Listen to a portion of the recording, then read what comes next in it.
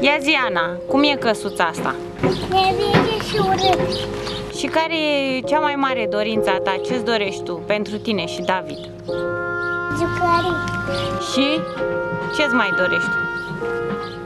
O casă nouă. Și cum să arate căsuța asta nouă? Pintată cu floricele. Cu floricele? Unde vrei să ai floricele? Acolo.